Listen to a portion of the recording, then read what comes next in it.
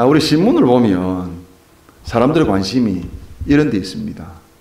우리 한국 사람들은 어, 띠로 자기의 운세를 보고 미국 사람들은 별자리로 자기 운세를 봅니다. 이유가 뭘까요? 미래에 대한 불안 때문에 그렇습니다. 내가 오늘 하루는 어떻게 진행되어질까 모르니까 이런 엉터리 같은 이야기에 귀를 기울이고 그나마 조금이라도 위안을 받고 또 이 세상을 살아가고 싶은 마음에서 아, 이, 이 코너를 보고 그렇게 아, 생각한다고 생각할 수 있겠습니다. 우리가 세상을 불안하게 살아가면서 장래의 일에 대해서 한치 앞에 일어날 일에 대해서 전혀 모르면 우리가 얼마나 초조하고 불안하겠습니까? 그러나 오늘 본문의 말씀에는 우리에게 아주 반가운 이야기라고 계십니다. 그 내용이 멀리 보시고 미리 준비하시는 우리 하나님에 대해서 말씀하고 있습니다. 이스라엘 백성들은 자기의 지나간 과거를 돌아보며 분명히 하나님이 살아계시고 하나님이 나와 함께 하심을 알 수 있음에도 불구하고 오늘도 그 하나님을 믿지 아니했기 때문에 결과적으로 늘 불평과 불만과 불안 속에서 살아왔던 것입니다. 오늘 우리 앞서 행하시는 하나님에 대해서 말씀하시는데 오늘 본문에 보시면 30절에 너희 앞서 행하시는 너희 하나님 여호와께서 애굽에서 너희를 위하여 너희 목전에서 모든 일을 행하신 것 같이 이제도 너희를 위하여 싸우실 것이며라고 했습니다. 우리 앞서 행하시는 그 하나님이 어떤 하나님이냐? 나를 위해 싸워 주시는 하나님이시다. 그렇게 우리가 이해할 수 있겠습니다.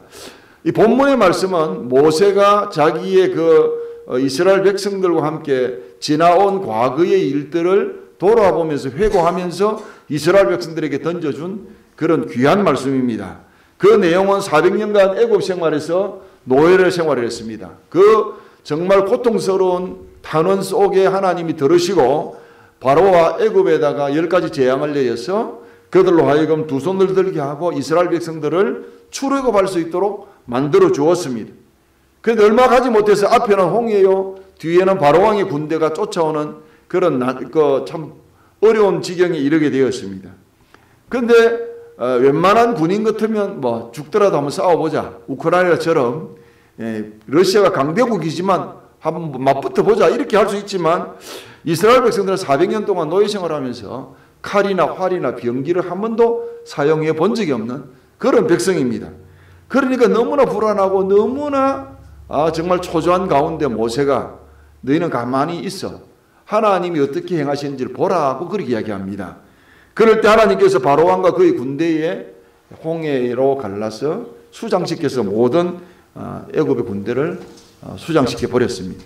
결국은 이스라엘 백성들이 해방을 받고 그냥 가나안으로 향하는 그런 역사가 일어난 것이 바로 어, 우리 출애굽의 역사라고 이야기합니다. 바리 모세는 지나간 그 짧은 기간이지만 하나님이 우리를 위해서 어떻게 싸워 주셨는지에 대해서 지금 회고하고 있는 것입니다.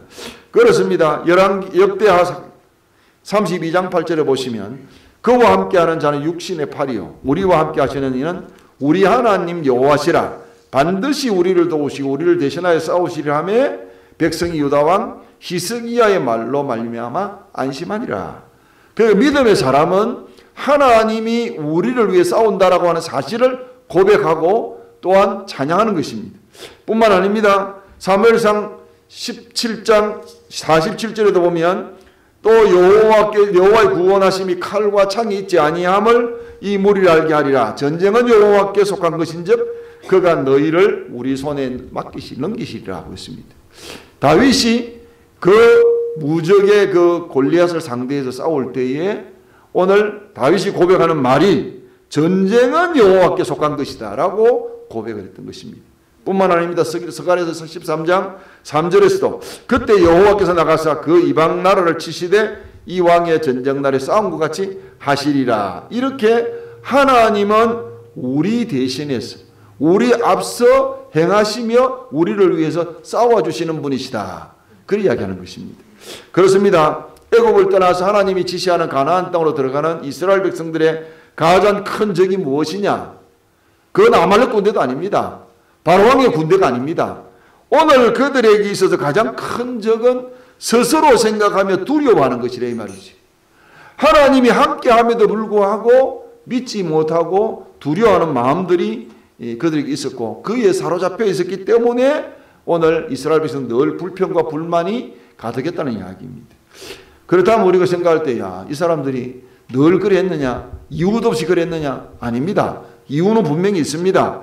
오늘 28절에 보면 무서워하고 두려워할 충분한 이유에 대해서 설명하기를 우리가 어디로 갈고 우리의 형제들이 우리를 낙심케 하여 말하기를 그 백성은 우리보다 장대하며 또 그 성읍은 크고 성곽은 하늘에 닿았으며 우리가 또 거기서 안압자선으로 보았노라 하시니라. 오늘 이스라엘 백성이 두려워하는 이유가 뭡니까? 눈에 보이는 자기보다 우월한 것 때문에 두려워하는 것입니다. 안악자손의 그 장대함, 그들의 성이 든든하고 견고하고 높여 쌓여 있는 걸 보고 두려워하는 것입니다. 이유 없이 두려워하는 거 아닙니다. 우리가 믿음이라고 하는 것은 그냥 평안하게 해서 우리가 하나님 잘 믿는 것이 아닙니다. 어려운 가운데서도 우리 하나님의 도우심을 믿고 나아가는 그 걸음이 되어야 하는 것입니다. 우리 인생의 강약길에서 가장 큰 적이 뭐냐 이 말입니다. 그것은 바로 우리 자신이 계산하고 우리 자신의 힘으로 우리 자신의 능력으로 비교해서 아 이러니까 우리가 안 된다. 아 이러니까 우리는 못한다. 아 이러니까 우리는 질 수밖에 없다라고 하는 그런 스스로의 결단 때문에 그렇다는 이야기입니다. 그래서 우리는 근심하고 불안해하고 걱정하고 염려하고 낙심하는 겁니다. 이게 누가 원하는 거냐? 바로 마귀가 우리에게 요구하는 겁니다. 가장 최대의 목표는 뭐냐? 예수 믿는 사람 멸망시키는 겁니다. 베드로가 고백했듯이 이 사기 마귀는 우는 사자처럼 들어다니며 믿는 자 한 사람이라도 낙심케 하고 지옥 가게 만드는 것이 그들의 목표입니다. 그런데 도적은 도덕질하고 그죠? 죽이고 멸망시키려는 것뿐이라고 이야기를 하고 있습니다. 여러분 그렇습니다. 감당할 수 없는 대적이 우리 앞에 있습니다. 그러나 이미 우리 하나님은 우리 예수님은 우리 앞서 싸우시고 우리 앞서 행하셨다는 사실을 우리가 기억해야 합니다. 제가 이번 한국 갈 때에 아, 쇼를 했습니다. 죄송합니다. 이런 말을 했어요. 제가 이빨이 이 어금니 두 개가 나가가지고 한 3개월을 그냥 밥도 잘 못 먹고 그냥 치통 때문에 너무너무 고통스러웠습니다.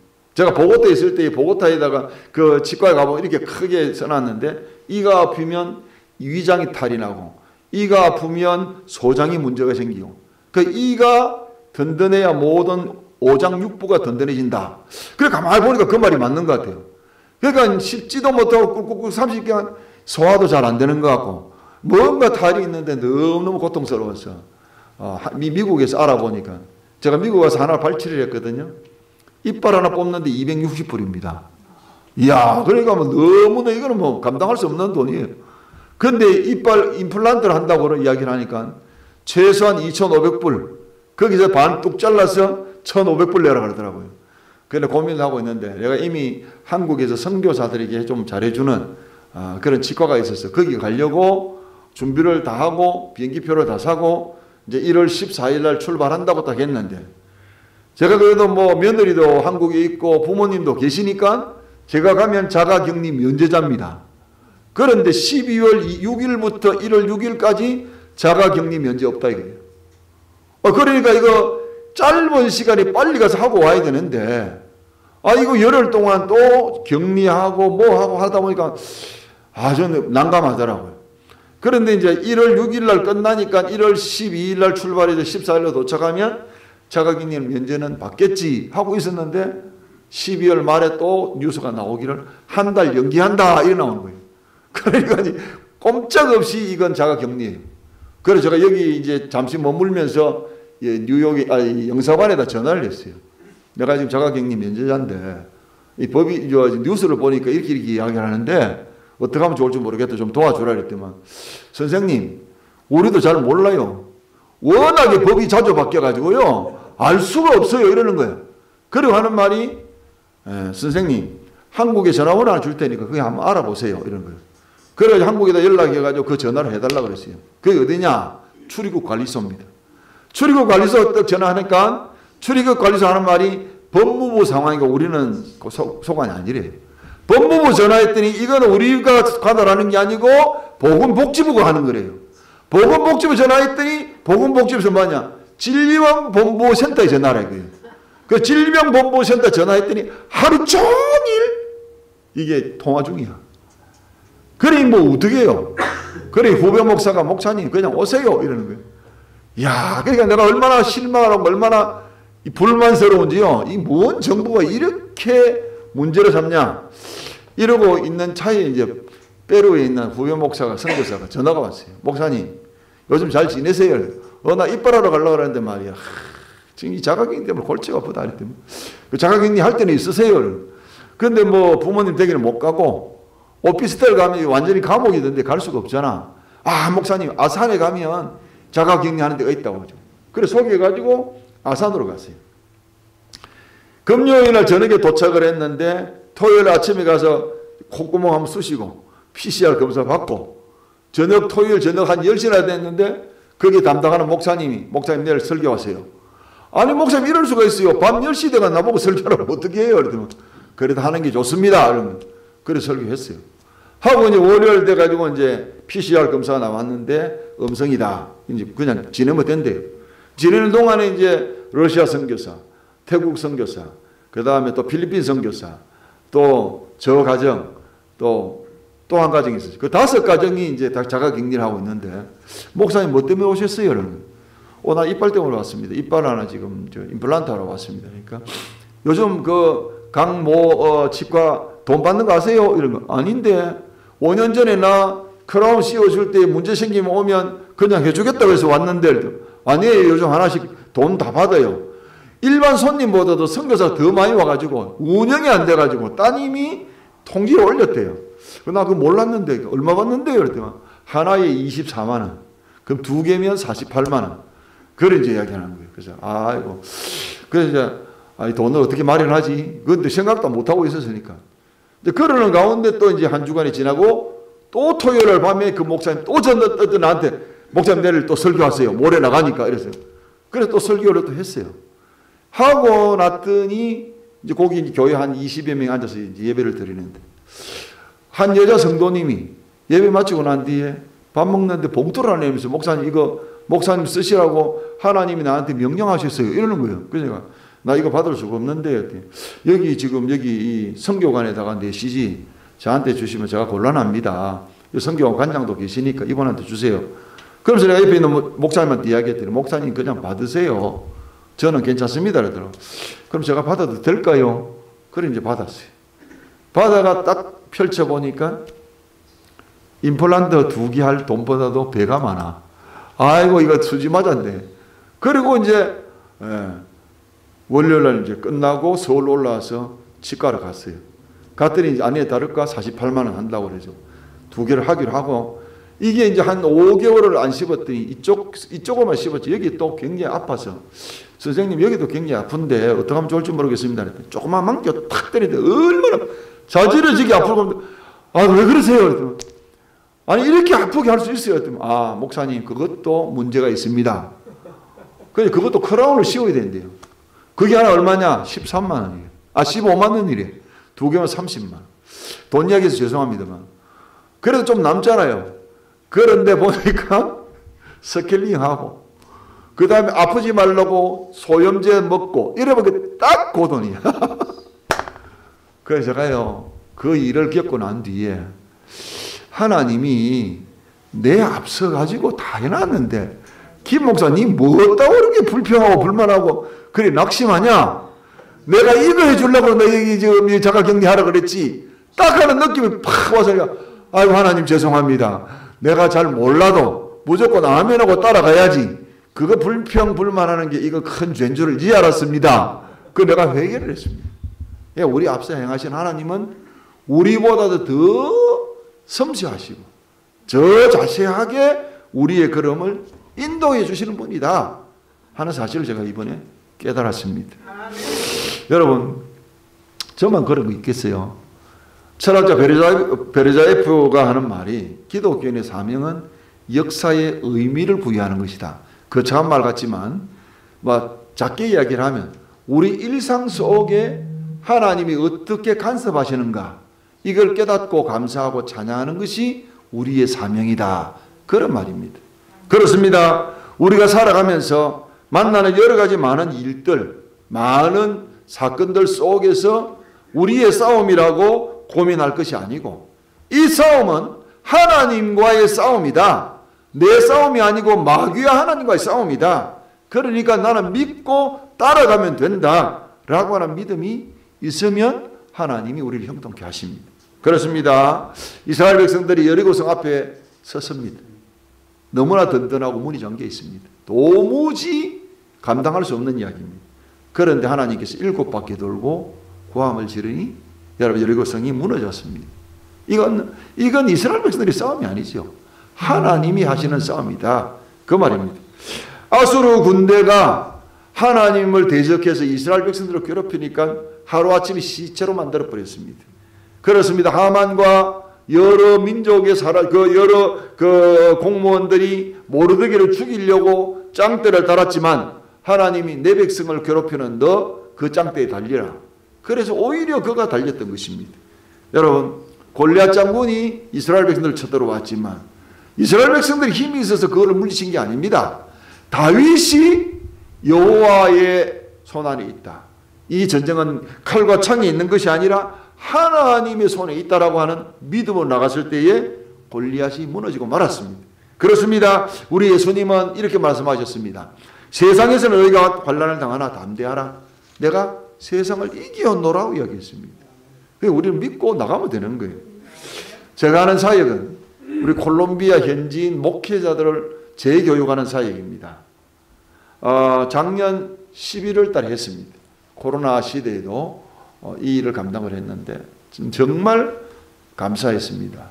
왜냐하면 그때 가셨던 우리 강사 목사님은 LA의 미기총 회장 지냈던 민성기 목사님, 샘신 목사님, 우리 여기 필라델피아의 박진표 목사님 세 분이 강사로 왔습니다. 사실은 작년에 우리 그 미기총 총회를 이 필라델피아에서 하고 민성기 목사를 만나서 이야기했더니 자기 가겠다고 이야기했습니다. 그러려고 LA 또 가가지고는 김 목사, 우리 딸이 절대로 가면 안 된대. 왜요? 코로나 시대에 어디 가려고 지금 아빠가 설치냐고 막 그리 이야기했다고. 못 가겠대요. 그래, 목사님, 그래 하세요. 그러면 코로나가 당신 따라가 당신을 죽일 겁니다. 우리가 피한다고 살 수 있을 것 같아요? 그렇게 옹졸하게 이야기하지 마세요. 그래 살다가 죽으면 하나님 기뻐하겠습니다. 내가 저주로 막 퍼붓어요. 그랬더니 아, 뭐 그러면 안 되지. 그래 갈게 갈게 갈게 이런 거예요. 그럼 돈 보내세요. 그래 비행기표 다 끊어가지고 이제는 가든지 말든지 전화하면 또 또 이야기합니다. 뭐 딸이 못 가게 그럼 오지 마세요. 비행기표는 끊어놨으니까 알아서 하세요. 억지로 억지로 갔는데 전혀 문제 없었습니다.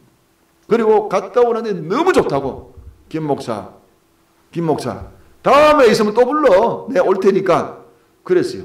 제가 이빨 치료하러 간 사이에 박진표 목사는 또 갔다 왔어요. 그래서 작년에 모였던 우리 목사님들 약 50여 명이 큰 은혜를 받고 함께 이렇게 즐거운 시간을 보냈습니다. 자, 이렇게 여러 장면이 나옵니다만은 하나님께서 이 일을 감당케 하셨고 하나님께서 앞서 행하셔서 우리를 위해서 다 정리해 주셔서 저는 잘 되었다라고 생각합니다. 그래서 어, 원래 또 해달라고 또 연락이 왔어요. 그래서 원래 한번 더 하자.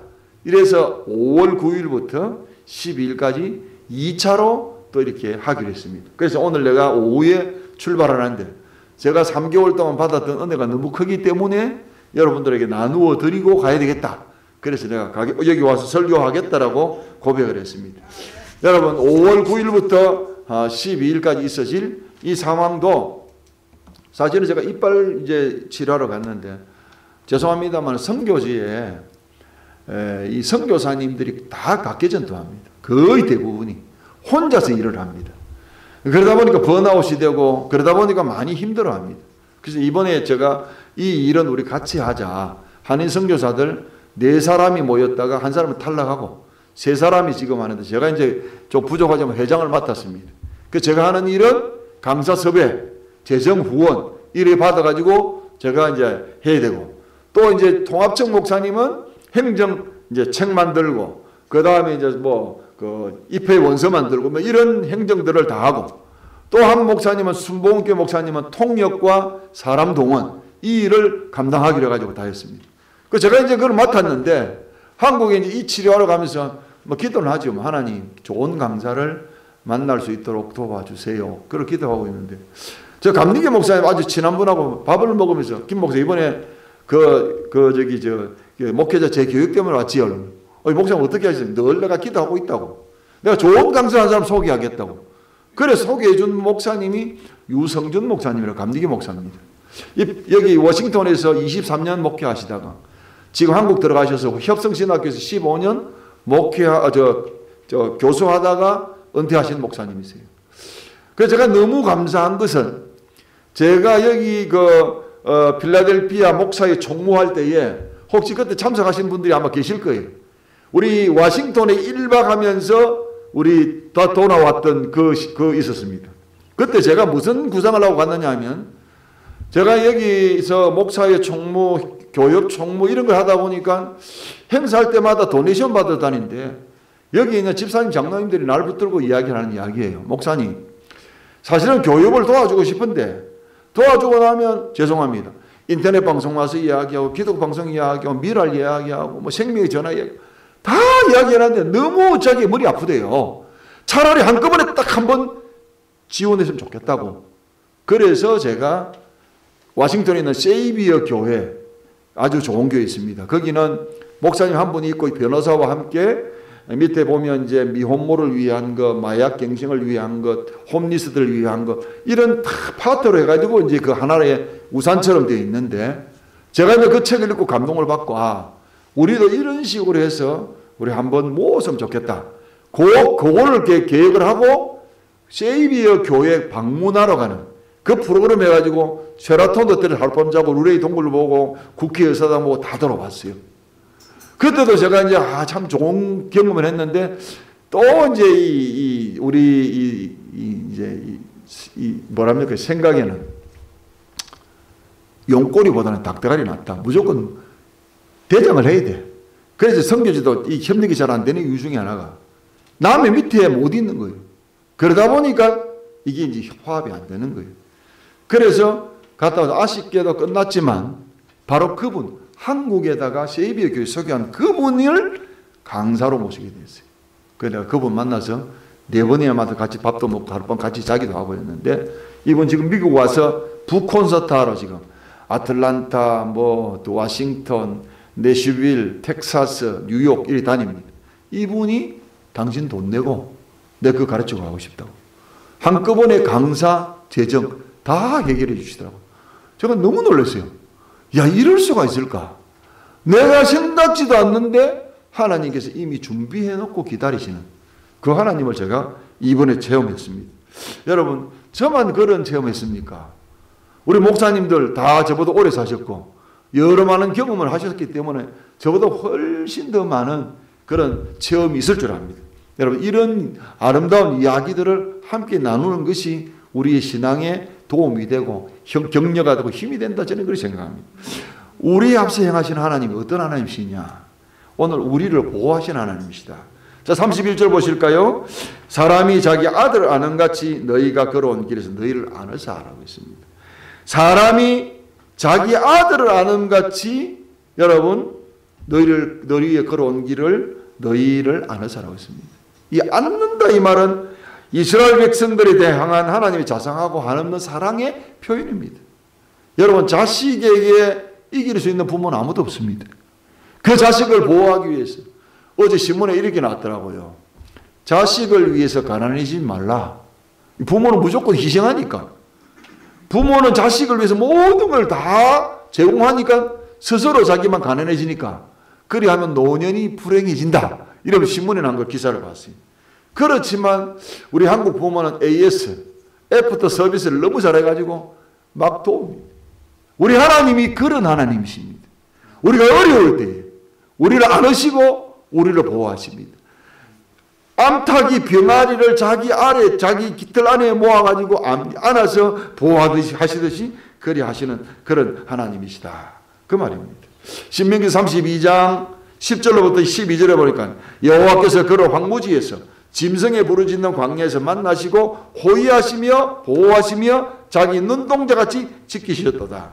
호위하시며 보호하시며 자기 눈동자 세 번이나 강조하는 거예요. 지켜주시는 보호하시는 하나님에 대해서 이렇게 세 번이나 강조하는 것뿐만 아니라 그 날개 위에 그들을 어음같이 여러분 이런 하나님의 사랑에 대해서 그렇게 말씀하고 있습니다. 여러분 우리가 인생을 살아가면서 다 늘 평안한 길만 있는 건 아닙니다.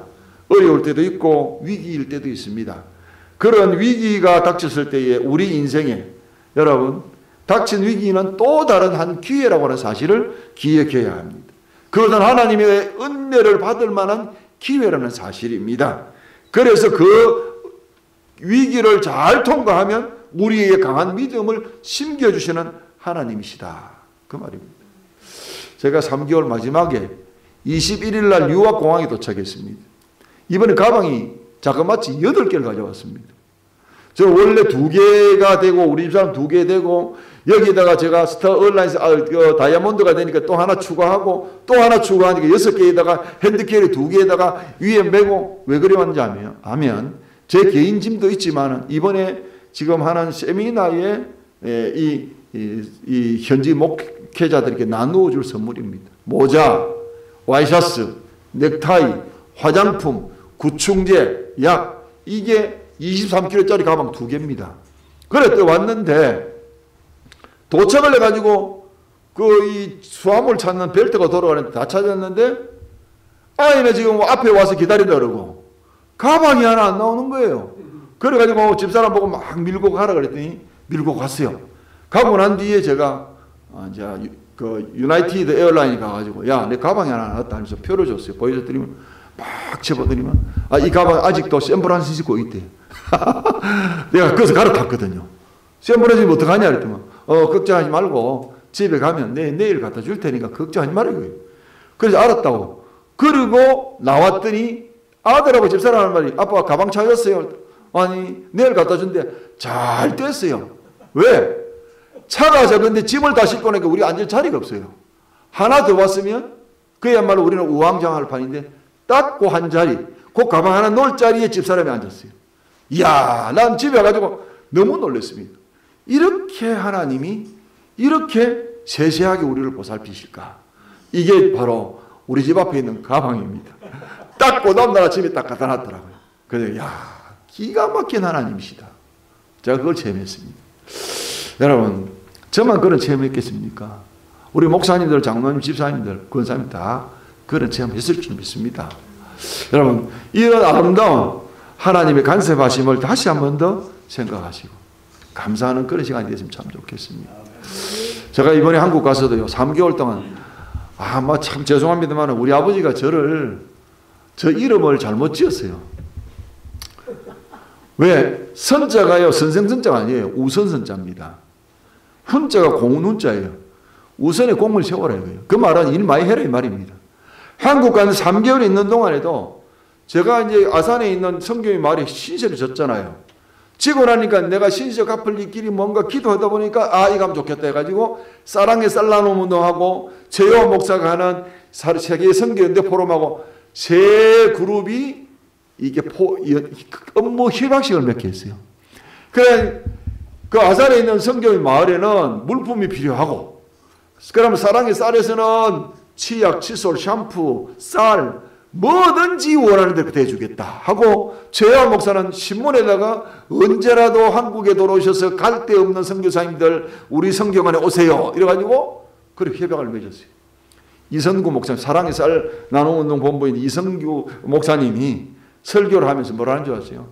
야 한국에 있는 우리 이 목사 세 사람이 왜 콜롬비아에서 온 그 저 목사 때문에 우리가 이렇게 만나게 됐냐 그래 이야기를 하더라고요. 그래서 그래도 어쨌든 하나님이 그렇게 쓰게 해주셔서 감사하고 또 한 가지는 세계 의료품 선교사가 있습니다.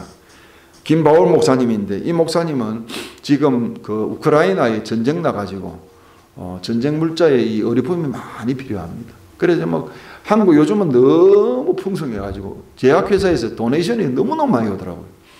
그래 나보고 이제 와가지고 목사님, 아는 선교사 가운데 약 필요하면 언제든지 나한테 오면 내가 무조건 대줄 테니까 목사님이 좀 딜리버리 하래요. 그래라 이번에 캄보디아 약 한 상자, 러시아 약 한 상자, 터키의 약한 상자, 알마티 약 한 상자, 이리고 또 어, 남아공의 약한 상자, 이래가지고 다 나눠줬습니다. 여기 있다 가신 조신일 목사를 만났는데 조신일 목사님이 그 북한 선교사 양성 신학교를 하는데 졸업 예배 제가 설교를 했습니다. 하고 나니까 나보고 하는 김 목사님 혹시 마스크 안 필요해요? 그래서 마스크 필요하지요. 내가 뭐 얼마든지 줄게. 얼마나 있는데 그 만장 있다 만장. 그럼 내가 가져가지요 뭐. 그래 내가 그거는 내가 목사님 했지. 목사님 이거 내가 다 못 들고 갑니다. 내가 원하는 데 쓰겠습니다. 마음대로 하래요. 그래 그 만장 가져와 가지고 이번에 울진에 산불 났잖아요. 깨박골이라고 하는 그곳에 제 후배 선교사 중국의 선교사 추방당해 가지고 시골 목회하는데 거기다 전화했어요. 야 김성교 김정덕 선교사 야, 내 마스크 안 필요해. 목사님, 마스크 있으면 주세요. 이런 거. 왜? 여기 한 200가구가 있는데 마스크 지금 전도하려고요. 오케이. 해가지고 열상자, 2천장들이 열상자를 보냈습니다. 그 하나님이 어디든지 일을 할 수 있도록 해주셔서 저는 너무 감사하다. 그 우리 집사람이 불평을 해요. 여보, 당신 나이 이제 만 65세 지났는데 언제까지 그 짐꾼처럼 그렇게 짐 들고 댕길까? 나한테 이야기를 했어요. 여보, 내가 들고 갖다 줄 수 있는 만큼 할 수 있는 자체가 감사한 거지. 뭔 소리 하고 있어. 하고 싶어도 못할 시간이 오니까 열심히 해. 그 이번에 갈 때에도 지금 23kg짜리 두 가방 지금 또 가져갑니다만. 어쨌든 하나님이 일을 시켜주셔서 감사합니다. 나 아닌 누구라도 이 일을 할 수 있는데 특별히 나를 선정해서 나에게 이런 일을 맡겨주셔서 감사합니다. 저는 그래 감사하고 있습니다. 여러분 오늘 나를 지켜주는 하나님이 어떤 하나님이시냐 10편 121편 1절부터 5절에 내가 산을 향하여 눈을 들리라 나의 도움이 어디서 올고 우리가 암송하고 얼마나 애창하는 시편입니까 여기도 보면 우리 하나님은 졸지도 주무시다니 하시고 우리를 지켜주시고 뿐만 아니라 낮에는 해로부터 밤에는 달로부터 우리를 상치 않게 지켜주는 하나님이시다 보호하시는 하나님 멋진 하나님이시다. 저는 그렇게 믿습니다. 우리 앞서 행하시는 하나님 어떤 하나님이시냐? 마지막으로 우리를 위하여서 앞서 인도하시는 하나님이시다. 우리 본문 한번 보세요. 33절. 그는 너희 앞서 행하시며 장막 칠 곳을 찾으시고 밤에는 불로 낮에는 구름으로 너희 행할 길을 지시하시는 자신이라. 너희 행할 길을 지시하는 자신이라. 그렇잖아요. 이스라엘 백성들이 장정만 60만, 남자, 아, 저 여자와 어린아이까지 합치면 약 한 200만 명의 이 어마어마한 군대가 이 숫자가 지 광야길을 40년 동안 헤맵니다. 여러분, 이건 도무지 사람으로 계산할 수 없는 일입니다. 그렇게 막막하고 정말 황당한 걸음이지만 그 앞서 행하시는 하나님이 계셨기에 그들이 성공적으로 가나안에 들어가셨다는 오늘 우리 앞서 행하시는 하나님 오늘 출애굽기 13장 21절에도 여호와께서 그들을 앞서 가시며 낮에는 구름 기둥, 밤에는 불 기둥으로 인도하여 주시고 앞서 가시며 행하셨다. 뒤에 오신 게 아니고 앞서 가시며 행하셨다. 그래서 밤에는 불 기둥, 낮에는 구름 기둥. 그 이게 이제 이스라엘 표현입니다만 요즘 시대 말하면 그것이 내비게이션입니다.